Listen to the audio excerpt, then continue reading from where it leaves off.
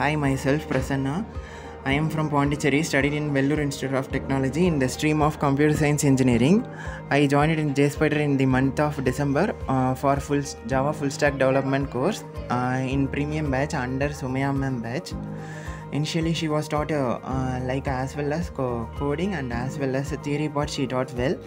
And then coming to SQL was taught by taught by Shweta ma'am and then uh, advanced java was taught by akshata ma'am and html and css was taught by niranjan sir.